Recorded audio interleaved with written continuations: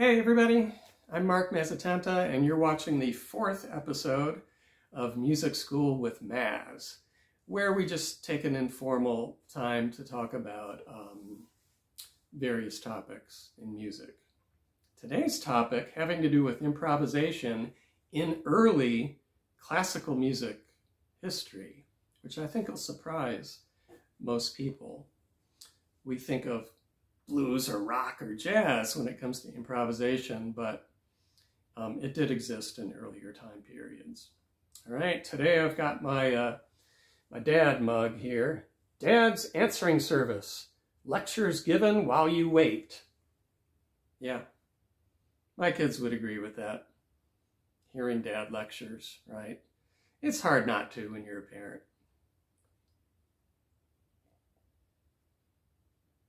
So today, I tried something a little different.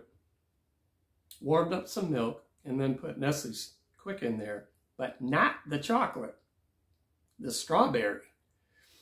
Uh, just for something different, and it's pretty good. So maybe I've started something new with this.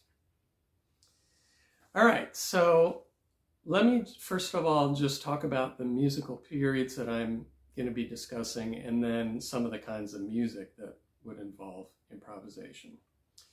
Medieval times, yeah, we go that far back, also known as the Middle Ages. Time period 400 to 1400, yes, that's a thousand years. Um, usually music discussions start about the year 1100. Then the Renaissance, 1400 to 1600. Baroque period is next, 1600 to 1750. And we finish today's discussion with the classical period, 1750 to 1820. Now I realize if you look up these names, um, depending on your source, you're going to get some slightly different date ranges. Okay, but at least that puts you in the ballpark.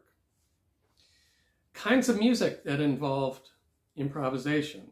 Organum, fantasias, um, chaconnes and fugues and passacaglias, and then um, cadenzas from concerto formats. So those are the some of the types of music that, that we'll briefly talk about. So let's go to organum. So check out how medieval music was notated. It's really beautiful. I'd love to have a poster of some of these pages. And some of the colored painting, um, some of that was gold and silver. So it's really beautiful. Perotin is one of the main composers from this time period. And that parchment page um, comes from a book from that time period of what's called organum. So think back then to church music, big cathedrals, echoey singing of a chant tune. Okay, that's a monophonic um, texture. Mono not meaning just one person singing. A lot of people could be singing, but they're singing one pitch, nothing else going on. Okay, so it's this very free, um, echoey, calming type of music. So what organum would do is they would take an existing melody like that and then kind of add this kind of shadow second layer, usually in the interval of a fourth or a fifth, called parallel organum, um, as, you know, initially improvised to add a, a, a second voice or a second layer to that. And then you add a third voice and you have something called polyphony, where you have independent lines um, moving together. Fantasias, this is just kind of a generic title that was used to mean improvise, or it would be put on a piece of music that was mimicking maybe somebody with that kind of um, spontaneous flow of improvising. And I think of lute players when I think of, of uh, that kind of music, because it's from the Renaissance, And me being a guitar player, I've played a lot of lute music, um, which comes from that time period. So I think of people like Francesco da Milano and John Dowland. Um, they wrote some of these fantasias, which I'll play one at the end of the video. Then we get to the Baroque era, which everything about Baroque music was highly ornamented. Um, so you actually had like instruction books about how to ornament a certain note, and they would use symbols for that. And something called figured bass also was from this time period. It's it's pretty jazzy because today as a jazzer, we get sheets of music that have symbols like A7 sharp 5 or D minor 7 flat 5. Um, and in the Baroque period, they used something called figured bass, which is very similar. Where in the basso continuo, which is like the backup band, you would have a harmony person, right? Either a lute or a harpsichord. And they would be given the bass line to the song plus figures underneath it. And it would be up to the player to decide, those figures indicated notes above the bass, but it was the player's job to decide where to put those in their chord voicings. And you might end up with something like this. This is a four-part texture. So those numbers, this looks like music theory homework, which I remember very distinctly. We would do things like this all the time. Given the bass line and the figured bass, fill in the upper three voices.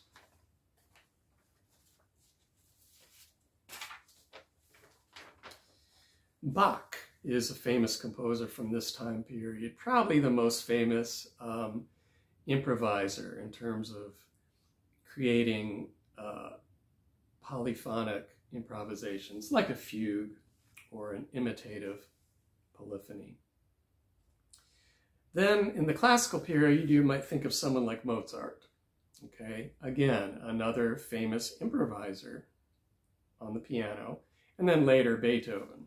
So Bach, Mozart, and Beethoven all were master composers and improvisers. Remember, they were not only the composers, but they performed their works. And so if you are the composer and the performer, it doesn't take a whole lot of imagination to think that they probably adapted and changed and improvised um, from performance to performance. And they did. Um, but there's, in their concertos, a concerto is a, a work for soloist backed up by orchestra. In a concerto, usually towards the end of the first movement, there's something called a cadenza, which the orchestra stops, and then the soloist gets to show off a little bit with the cadenza. It could be a minute, could be two minutes. Ideally, you are to be developing ideas that were presented earlier in the piece. Um, in those time periods, the composers or the players actually would improvise those cadenzas. Nowadays, they're mostly written out. Um, and here's what one might find in the music. At this point, the orchestra stops and the soloist plays. So it could be one or two minutes. And then here, that's when the orchestra comes back in and you, you finish the piece pretty quickly after that. So those are just some instances of historical improvisation in, I guess, what we would call Western European classical music history.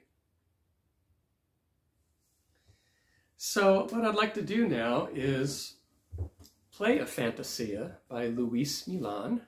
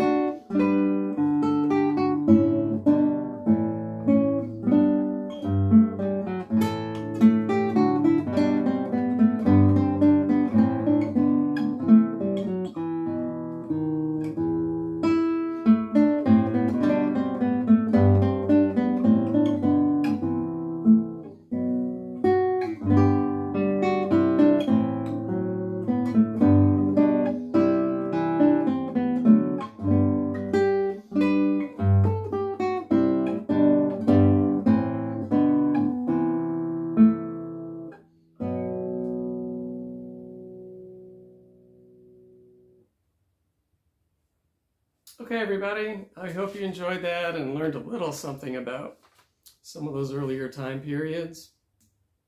I will put a link to some musical examples um, as well to those historical time periods, uh, just for fun. All right, everybody, thanks for joining me. I really appreciate you watching. Um, please like and subscribe, and I'll see you at the next video.